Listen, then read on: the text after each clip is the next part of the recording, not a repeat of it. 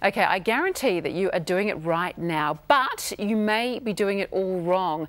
Our next guest says in our frantic modern lives, many of us have lost the art of breathing correctly, and it may be affecting our health. Welcome to the cafe, breathing coach and Buteyko practitioner, Dina Sinisa. Welcome. Thank you, Mel. Firstly, what on earth is Buteyko? Buteyko, the Buteyko method is a breathing retraining technique that helps people um, bring their breathing back to natural, gentle, nasal diaphragmatic breathing. So it teaches us how to breathe normally in our day-to-day lives. It's funny because you think, well, I can breathe, but it, yeah. there is actual real skill to it. Yes, there um, is. So what got you interested in breathing techniques? Well, five years ago, around 2012, 2013, my, my asthma got turned for the worse.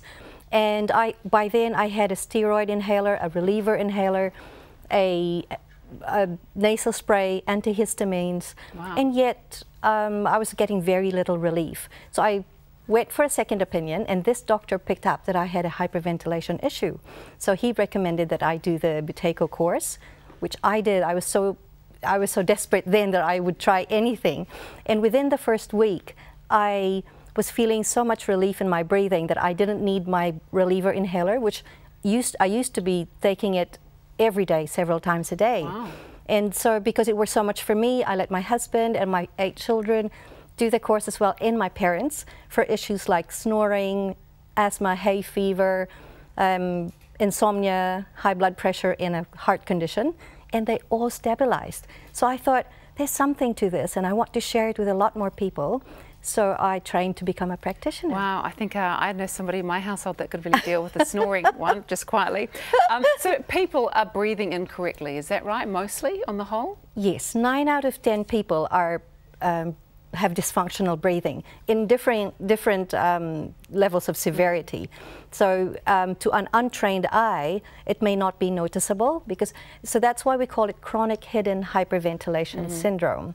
So it's hidden, and um, we've lost the art of breathing. We've forgotten how to breathe normally and naturally. So how would people know if they're if they're not breathing correctly? What are some signs? Well, some of the more common symptoms are mouth breathing or open mouth posture and sometimes you know, taking big breaths and yet feeling like you're not getting enough air. Can't fill your lungs up. Mm. Yes, and um, you some some some people have palpitations and chest pain that are not related to heart problems.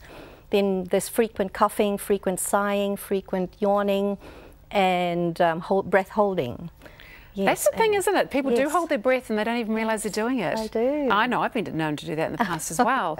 Um, so what health problems could uh, incorrect breathing really cause or exacerbate? So the more common ones are asthma, hay fever, um, insomnia, snoring, sleep apnea, chronic fatigue. There's that, there's that snoring again. Yeah, anxiety and stress. So what would be the first step then to breathing correctly? Well, when I work with um, when, when I work one-on-one with my clients, the very first thing I make them do is to breathe through their nose and keep their mouth closed. So it's in and out through the nose. That will help them get more energy, get deeper and more restful sleep, and um, be calmer. Mm. Yes. What about kids then? Because um, you, you, work with children as well. Yes, I and you've got eight of them. I do. Did you say eight children yes. before? I thought I thought I misheard for a moment. Oh, there they are there. So how does it work with children? Well, um, with children, it's the same thing. So reminding them to keep to keep their mouth closed and breathe through their nose. And one of the very one of the things that we should be reminding the children is not to have too much screen time, because too much screen time with very little physical activity can increase your breathing and promote mouth breathing. That's interesting. Yes, of all the things I thought screen time could do, I did not think it could affect oh, your yes, breathing. Okay. So is it actually possible to reprogram your brain long term so you don't have to think about breathing? Because I'm sure when you start, you have to really think about what you're doing. Yes, because you're reprogrammed. So the same way that our brain was reprogrammed when we picked up the poor breathing habits over the years, we can reverse the process and reprogram the brain, which is where the breathing command center is, to um, restore norm, you know, to restore natural healthy breathing patterns. And that's what Buteyko method does systematically and, you know, with guidance. Wow, so the first step is though the long breaths through your nose and not through your mouth. Well, not long breaths. Actually, it's small breaths. Small Small, breaths. and slow, gentle breathing. And that's why we need to see a practitioner. It has been really enlightening talking to you. Thank you so much for stopping by. You're welcome. Very valuable advice.